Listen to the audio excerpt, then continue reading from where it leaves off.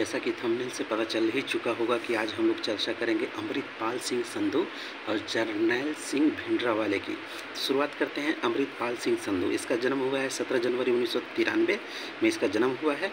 यह एक कट्टरपंथी और स्वयंभू भारतीय खलिस्तानी या अलगाववादी कार्यकर्ता है। यह पंजाब को भारत से अलग करना चाहता है, जिस तरह से भिंडरा वाला करना चाहते हैं, उसी तरह से। इन्होंने वारिस पंजाब डे संगठन का प्रमुख है। वारिस पंजाब डे एक संगठन है पंजाब में, इसका प्रमुख है। पहले ये दुबई में काम करता था, सितंबर 2022 में लौटा। इस संगठन के जो पिछले नेता हैं, दीप सिद्धू, की एक कार दुर्घटना में मृत्यु के बाद संगठन का यह नेता बना। इसका जो पैतृक गाँव है, जल्लूपुर खैरा, बाबा बाकला अमृतसर, पंजाब के पास है। दुबई से लौटने के बाद दमदमी टकसाल के जो पूर्व जत्थेदार हैं, थे जरनैर सिंह भिंडरावाला के पैतृक गाँव मूगा के रोड़े गाँव में आधिकारिक उद्घाटन समारोह भी आयोजित किया और खुले तौर पे खालिस्तान का समर्थन, लेकिन खालिस्तान आंदोलन का समर्थन की बात की। लोगों में खालसा सिख में परिवर्तन ये जो संगठन है, यह लोगों को, जो भी लोग हैं, उनको खालसा सिख में परिवर्तन करने की कोशिश करता है। अलगाववादी आंदोलन सिख धर्म के लोगों के लिए एक अलग देश की मांग करता है। ये जो खालिस्तानी आंदोलन है, ये पंजाब या फिर जो सिख धर्म के लोग हैं, उनसे, उनको अलग देश बनाना चाहता है। अभी गृह मंत्री अमित शाह को इसने अमृतपाल सिंह सिंधु ने खुले रूप से धमकी दी है कि जो हाल इंदिरा गांधी का उन्नीस सौ चौरासी में हुआ था वही हाल अम, ये अमित शाह का भी ये करेगा। ठीक ना? तो साथ ही भिंडरा वाला की जितनी भी स्टाइल है उसका ड्रेसिंग सेंस उसके बोल चाल उसके आसपास जितने बॉडीगार्ड्स ठीक ना? थाने पे हमला करके अपने लोगों को छोड़ा लेना ये सारे काम ये करता है।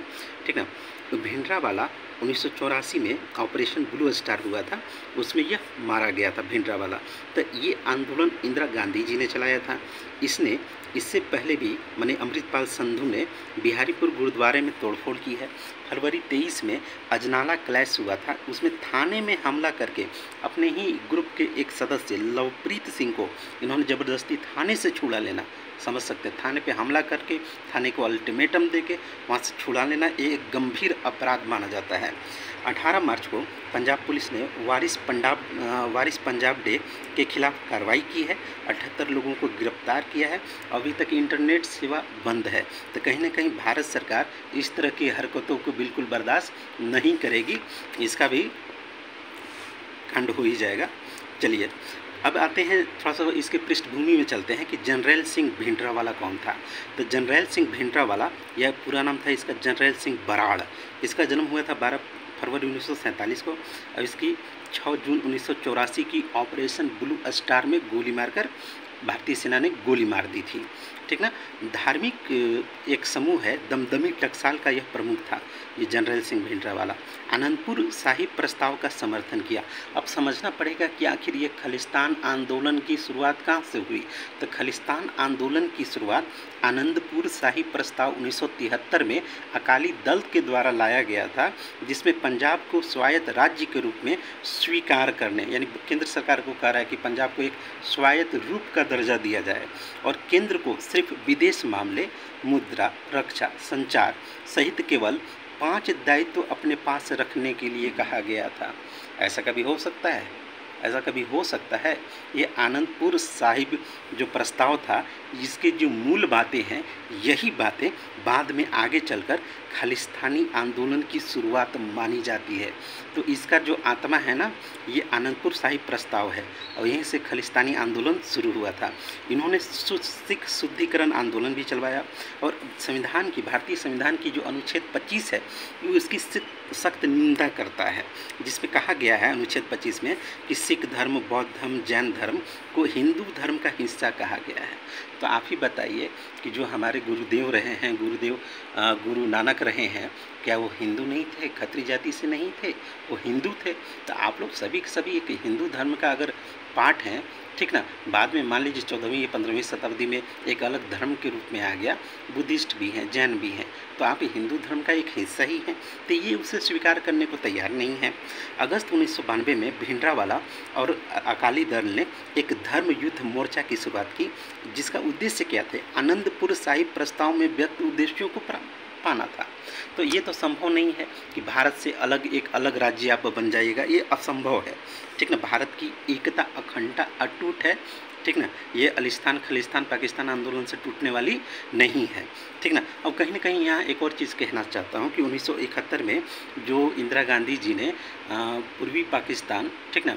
को एक बांग्लादेश में बदल दिया तो कहीं ना कहीं पाकिस्तान भी बदला लेने के लिए इस आंदोलन को पूरी तरह से हथियारों से, पैसों से भिंडरावाले को, ठीक ना, इन सब आज भी सपोर्ट करता है। आज भी कनाडा से पैसे आते हैं, हथियार आते हैं। पाकिस्तान का भी समर्थन होता है कि खलिस्तानी आंदोलन को और आगे बढ़ाकर इसे तोड़ा जाए। ठीक ना, जबकि पंजाब जो है, भारत में मात्र पच्चीस प्रतिशत है। पाकिस्तान में तो पचहत्तर प्रतिशत है। वहाँ ऐसा कोई आंदोलन पाकिस्तानी सेना नहीं चलने देती है, लेकिन यहाँ चलाना चाहती है, क्योंकि वह इसे तोड़ना चाहती है। असली पंजाब तो पाकिस्तान में है, जहाँ पाँच नदियाँ हैं, वहीं पे पाँच नदियाँ हैं, ठीक ना?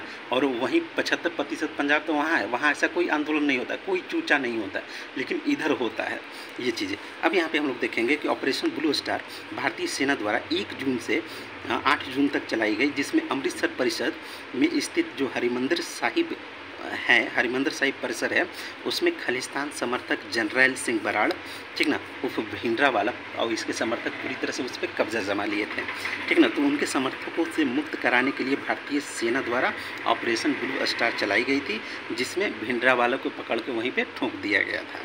उन्नीस, अब थोड़ा सा और पीछे चलते हैं कि आखिर ये समस्या कहाँ से शुरू हुई तो 1970 के दशक में अकाली दल ने ही आनंदपुर साहिब प्रस्ताव का इसको चलाया भी था।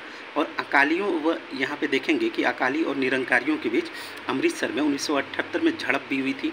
और ये निरंकारी आंदोलन जो है, ये पंजाब में दलितों की संख्या ज़्यादा है 30 परसेंट करीब दलित हैं। तो इनके जो ग्रुप है, वो निरंकारी उनका प्रतिनिधित्व करता है। तो उनके जो थी प्रमुख थे, उन पर कई बार हमला भी इन लोगों ने किया है। ठीक ना? पंजाब में भी जातिवाद बहुत है, बहुत ज़्यादा है। ठीक ना? जट सिख हैं फिर तीस परसेंट एस कम्युनिटी के हैं। तो ये सभी समस्या है। तो इंदिरा गांधी जी की यहाँ एक गलती सामने आती है कि अकालियों का जनाधार घटाने के लिए उन्होंने भिंडरा वाले को प्रत्यक्ष रूप से या परोक्ष रूप से प्रोत्साहन दिया था। यह हकीकत है। और भिंडरा वालों ने बाद में जाके बहुत ही उग्रपंथी हो गए। इन्होंने पंजाब केसरी के जो संपादक थे, उनकी हत्या की।